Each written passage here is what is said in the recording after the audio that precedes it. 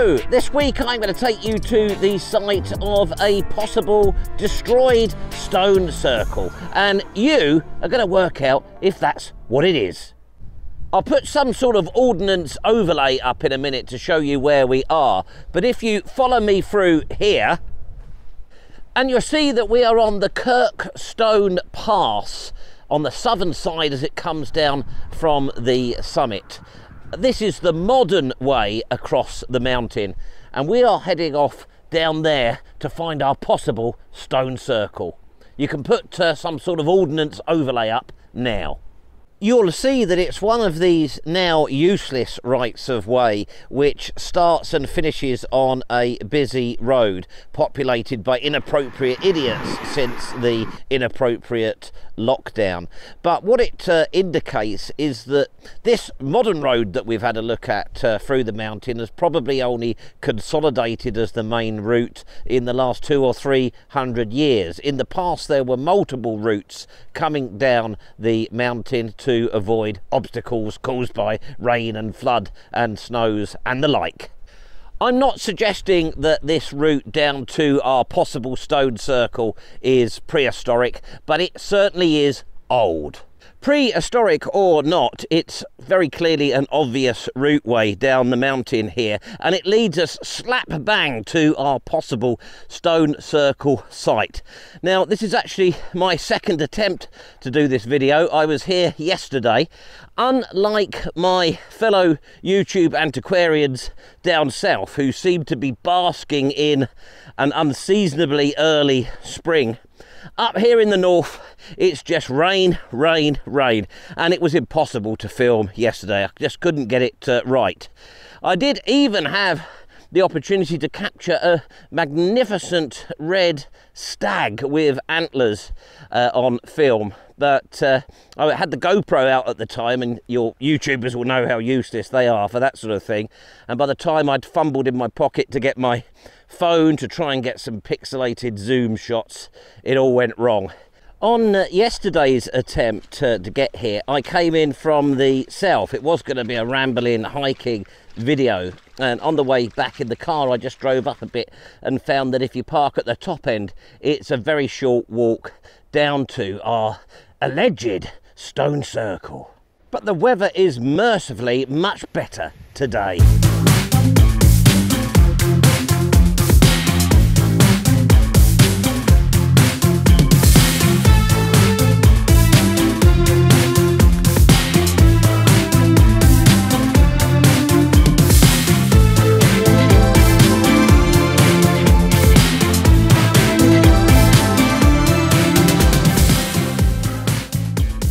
We've come down the track a short way. The idiots are still driving just up there on the main road. And uh, the objective for our investigation is this away.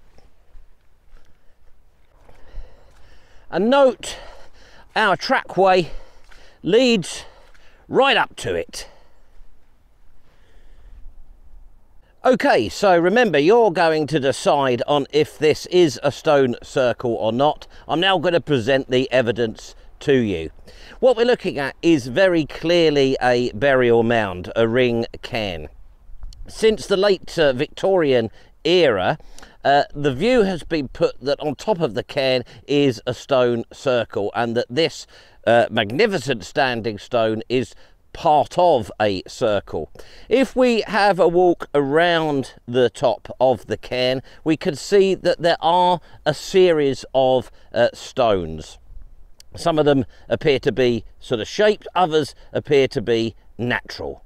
So over here on this side of the cairn, below the proposed circle on the top, we've got this exposed rock. I don't think that's got anything to do with this uh, stone circle sort of hypothesis. I suspect that has just become exposed as the cairn has become denuded, eroded away. And then the second part of the Victorian theory is the stone circle on top of the cairn, but over here in this wall we have one, two, three stones from an outer circle. So the Victorian idea is that this is a concentric stone circle. Over on the other side, there is nothing to indicate that the stones in the wall were matched by a ring of stones running round there. But there is a sort of an indication of that on this side, the northern side. I'm stood on a stone there, but it looks very natural. Then we've got this one here, largely buried. That does have some shape to it. And then this one here as well, which um, is sort of shaped and in line. And then headed south, uh, the track uh, carries on, prehistoric or not. I think it's very interesting that uh, the track makes a beeline uh, for the stone circle. Indeed, through it you can see tyre tracks where people are driving over the cairn to this uh, very day. It suggests that if the track isn't the original access to the stone circle or cairn or whatever it uh, was, then in later years it's become a sort of a signpost as a way down the valley. On the trackway to the southern end of the site, we've got these possible portal stones. Of course, some have proposed that these stones embedded now in the wall uh, were moved and put there at a later stage. But they, these two, this one and that one, do have a lovely shape and some sort of consistency with the big one on top of the cairn. And our final bit of evidence is from the 1890s when a unpolished stone axe was found sort of just a few yards down there south of the circle.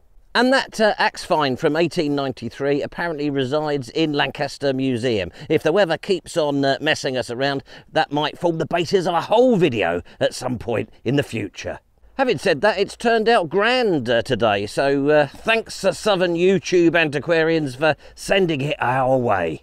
Okay, then to summarise, I don't think there's any contention that this is a burial mound, a ring cairn.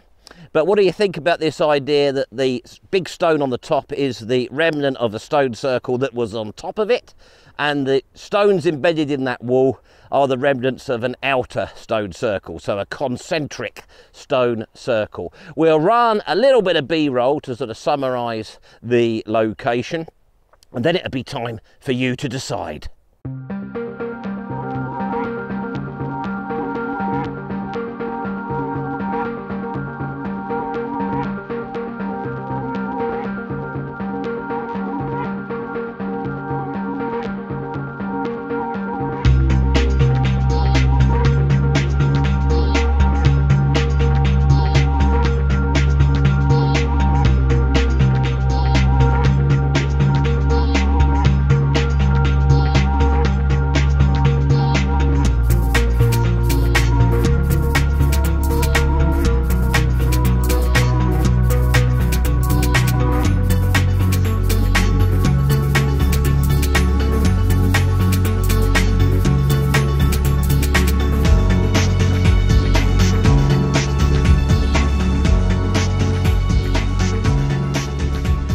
Presented the evidence, so it's now down to you guys to decide in our interactive quiz.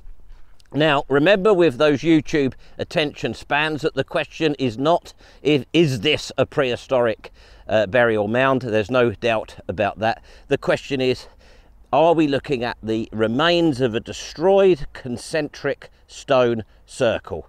So it's now time to vote. Choose your options. If you think it is a stone circle, select this one. If you think it isn't, select uh, that. And remember as you vote that it's very important that no traitors survive until the end of the game. Otherwise, they'll take... No, that's something else. So please go ahead and vote. Stone circle, not a stone circle. We'll give you a little bit of time to uh, cast your votes. And here they come. Ah! Yes, so the answer is not dissimilar to Brexit. 49% of you think that it is the remains of a destroyed stone circle, and 51% uh, of you think that it isn't. You know who would have liked it here, don't you? Sir Arthur Conan Doyle. No doubt he would have seen some of his beloved fairies.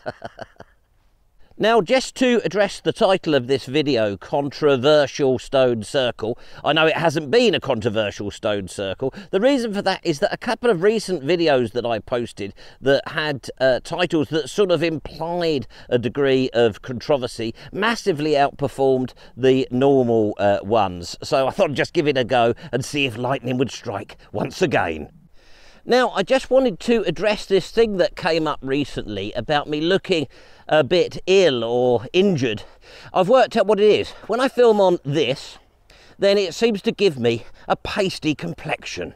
Whereas when I film on this, I seem to look a whole lot healthier. In fact, uh, in this app, there's actually this glamour effects thing. Oh, it doesn't work if you're filming in 4K. Let's uh, try it there. So we can say glamour effects on. We can uh, brighten it and smooth it to maximum. And then uh, that should hopefully make me look a lot uh, better. Let's uh, give that a go. Right, let's have a go and see what the old uh, glamour effects does to me. Is that better? Is that more pleasing to thine eyes? Well, I hope you enjoyed that. Um, it really is a special place I don't believe in fairies, uh, obviously, but uh, let's just soak up the atmosphere of this amazing site.